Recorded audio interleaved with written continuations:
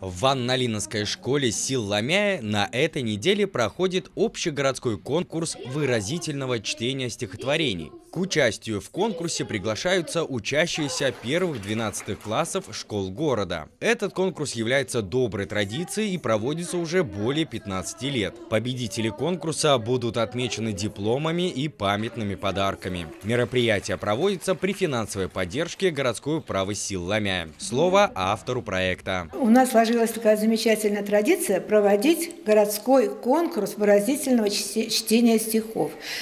И, в общем-то, сложилась традиция не только вот благодаря нашей школе, а еще городской библиотеке, потому что они начинают проводить этот конкурс в октябре месяце, а мы, чтобы поддержать интерес к поэзии, проводим его в конце учебного года. На сей раз у нас проходит конкурс два дня. Вчера читали ребята с первого по четвертый класс. Я получила огромное удовольствие, потому что ребята не только выучили большие некоторые стихотворения, а когда жюри подводило итог, время у нас было свободно, я предложила ребятам почитать еще стихи. И вы не представляете, не было желающих отбоя. Некоторые по два, по три стихотворения выходили, читали. Читали на русском, звучало на украинском языке, девочка от с пятой школы прочитала. И ребятам самим понравилось, понравилось нам, учителям. Я испытала истинную истинный восторг от того, что дети учат стихи и столько много знают.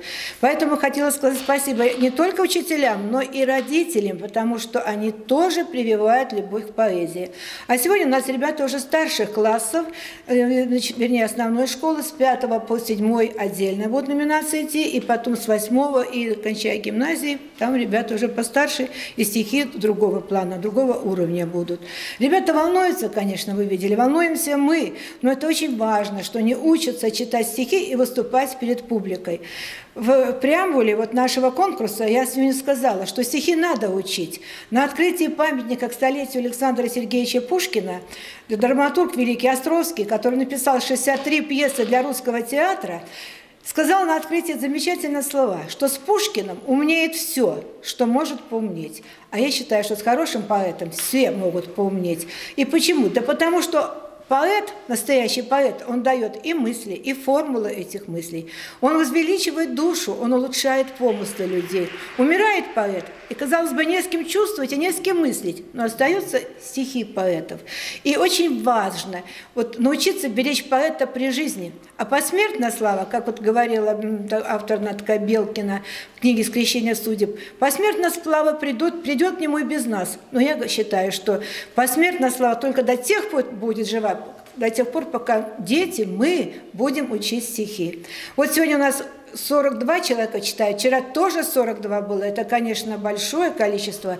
И я хочу сказать большое спасибо, вот, извините за тавтологию, да, спасибо и родителям, и учителям, и вот членам жюри, которые принимают участие и помогают вот, популяризировать поэзию в школе, в городе, в семье. Следите за последними новостями вместе с командой ЕСН ТВ.